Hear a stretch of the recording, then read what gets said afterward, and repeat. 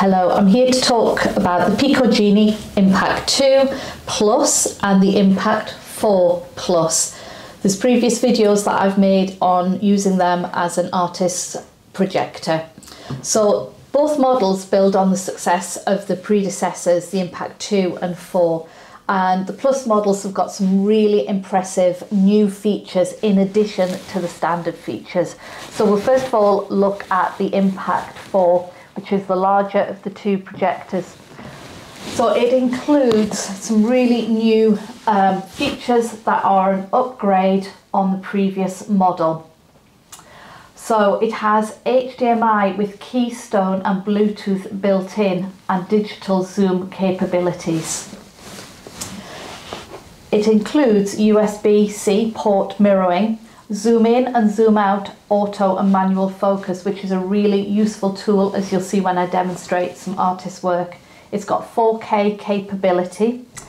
The HDMI works with Bluetooth and Keystone. It also supports 3D for 3D movies with active 3D glasses and you can source 3D art, um, content and movies via YouTube and it's also got on Android 9 operating system on it.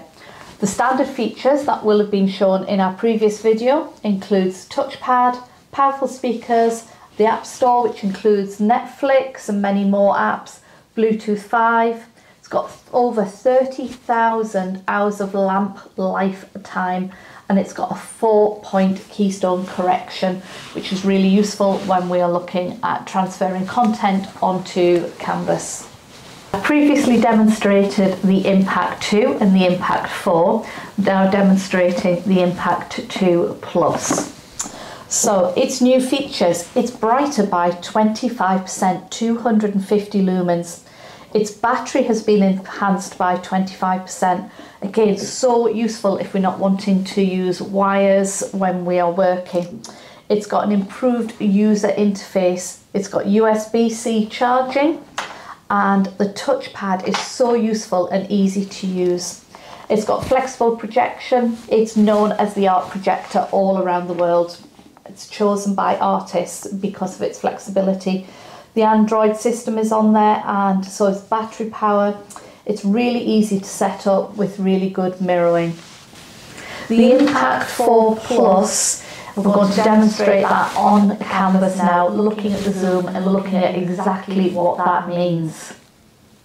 So we're going to focus on Zoom now and what that means. So we are connected via HDMI. We're going to select HDMI using the remote control and we're going to click on the top right hand button which will take us to the projector settings and we are able to move down to the four point keystone. And we can see at that point as we've got auto um, keystone turned off we can select zoom in and out. And we can zoom really small. If we wanted to go as small as a post-it note, we can actually move the projector forward to do that. We're going to go to the Keystone Correction Reset area, which would then get the keystone correct and we're back to full zoom.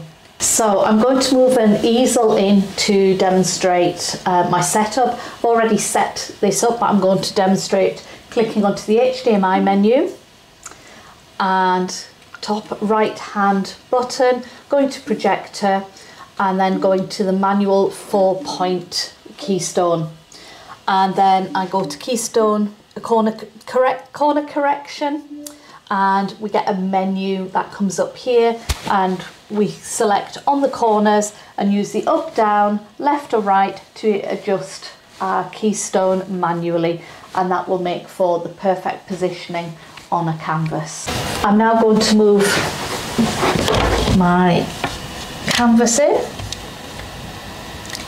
demonstrating that, and I'll go and click on the menu button, go back, and then I can just adjust where I want my position on here. And I'd have to go to keystone correction to get it perfect. So the, the quality of the projected image allows me to trace directly onto the canvas so I don't miss the details.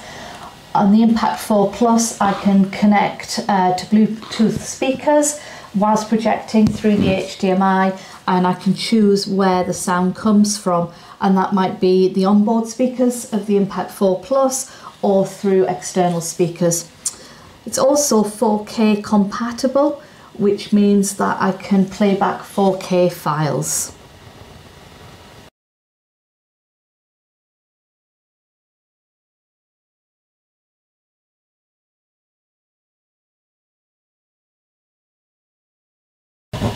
So here I've just got the first draft of my sketch.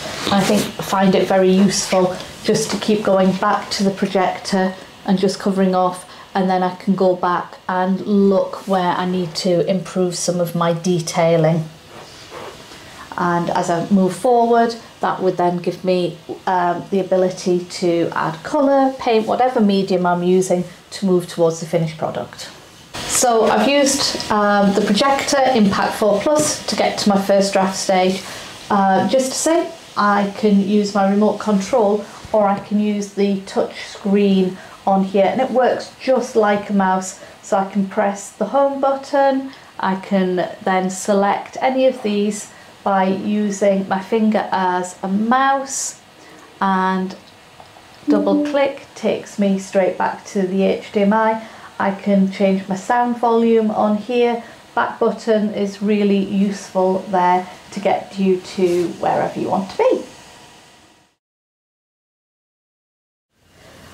And now we're focusing on the Impact 2 Plus. And this is the projector out onto the wall and it's on a universal power supply that's provided with it for UK, USA, EU, and Australia. It will also work off standard USB to USB C, and the cable is included. It would also work off a power bank. We just take it off power supply, see it's still bright.